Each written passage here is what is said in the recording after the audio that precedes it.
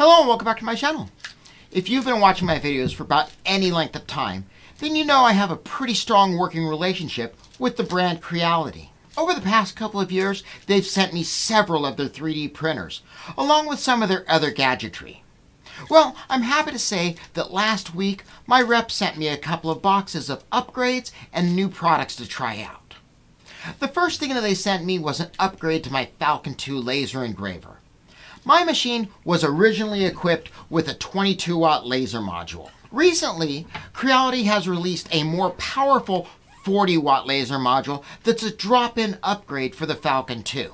First thing I did was take some time and figure out what the new feed and speed graphs for the 6mm plywood that I usually cut are going to look like.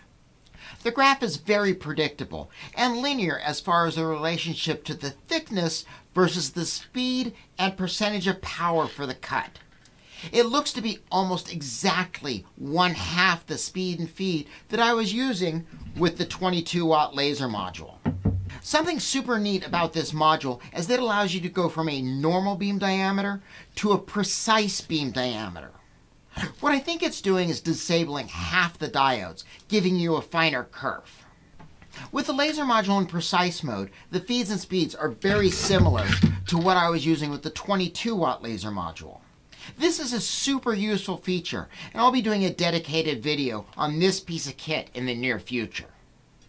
According to my rep, the 40 watt module is available in the Creality online store and can be purchased separately from the Falcon 2 machine itself.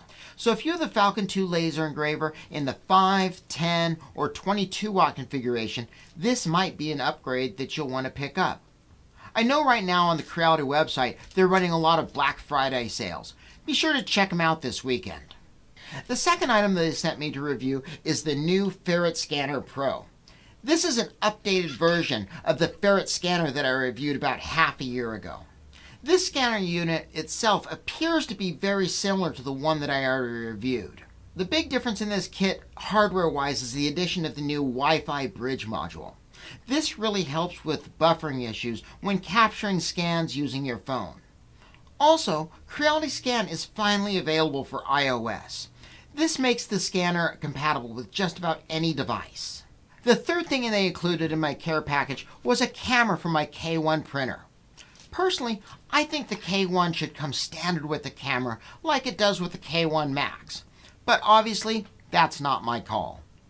The installation was super easy and completed by simply plugging the camera into the wire harness that's located above the front right lead screw. I had to remove the little plastic retainer that was double-sided sticky tape to the side glass in order to get the camera to slide into the proper position. It comes off super easy, I just gave it a twist and it popped right off. Once the camera's in place and the screws installed, go to the settings tab and click the slider to enable the camera. The printer's firmware already has the option in place for the camera. All it needs is to be activated. Once that's done, your printer will be able to automatically record time lapses of your prints and save them to the USB drive. You may have noticed that I took a couple weeks off of making videos. It was all starting to feel a little bit winter gardeny for my liking. During this time away from YouTube, I've really been putting my prosthetic hand through its paces. And sadly, once again, I found that plastic even engineering grade PA12 plastic has proven to be a poor choice as far as materials to build fingers out of. This last week, I had the P2 of my index finger snap at a most inconvenient time and place. Thankfully, I had the previous version of my hand in my backpack, and I was able to quickly switch back to using it for the rest of the day. This has led me to finally pull the trigger and order a full set of finger components in magnesium aluminum from PCBWay. They should arrive in a couple of weeks. It'll be interesting to see just how hard the SLS material is, being that it isn't a rolled and extruded form of aluminum. Please be on the lookout for my upcoming product review videos. I'm pretty excited about the new scanner, and I have a pretty cool project planned for it. That's about all the exciting news that I have for you right now. Please remember to like, subscribe, share my videos. If you have time, leave a comment in the comment section. It really does help with the algorithm. Thanks for watching.